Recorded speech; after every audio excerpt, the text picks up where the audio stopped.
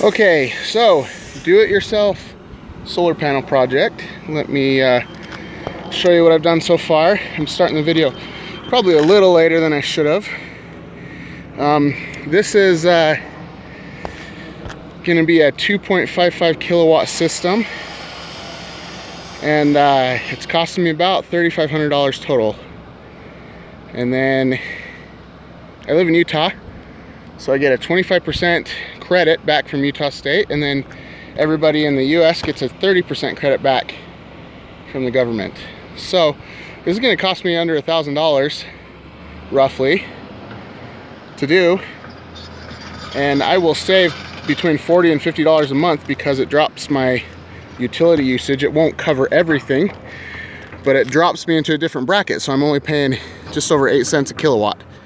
So let me show you what I've done so far. Uh, first you want to do is install the rails and I'll post links to what I've purchased. Um, I'm using a Unirac style system. The rails aren't Unirac, but the these uh, um, L brackets are Unirac. The bolts are from Home Depot. And the braces I made myself to splice it. You can see that. Um, I'll probably go ahead and put some more bolts in. I'll probably do four bolts.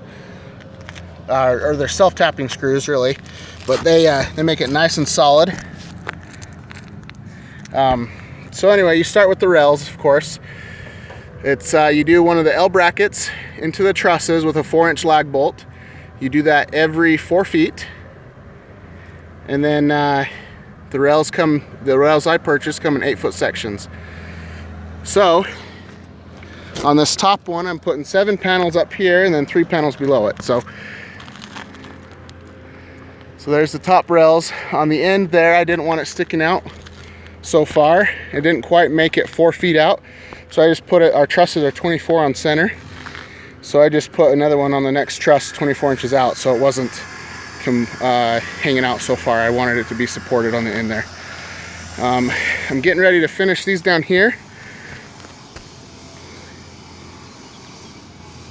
So uh, I'm gonna do uh, two three foot sections to finish it up. There's only three panels here.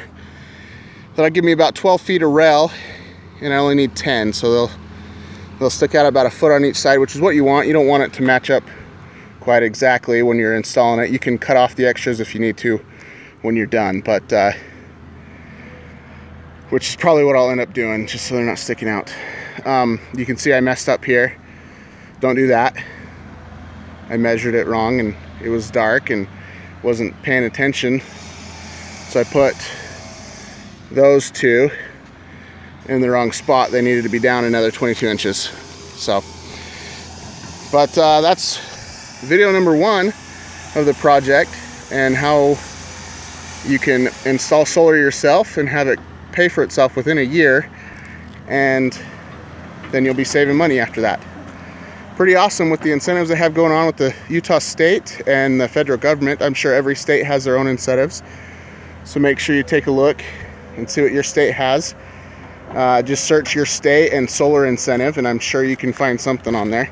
Not all states I'm sure will have something but anyway so the next thing I'm gonna do is uh, finish up these rails right here and then I will start the grounding process to ground all the rails and I'll show you what I do when I get to that point. I'll be back.